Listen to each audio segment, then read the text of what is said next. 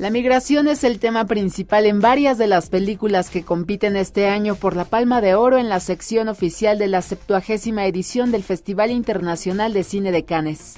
La temática arrancó con la exhibición de Carne y Arena, una experiencia en realidad virtual realizada por Alejandro González Iñárritu.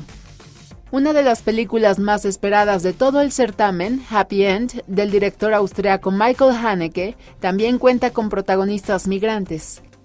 La película Jupiter's Moon del director húngaro Cornel Mundrusko igualmente se inscribe en el tema de la migración. Un total de 20 películas compiten por la Palma de Oro. La primera de ellas, Wonderstruck, del director estadounidense Todd Haynes, recién estrenada en el certamen. El palmarés de premios será anunciado el próximo domingo 28 de mayo, con información de David del Río, corresponsal en Francia. Notimex.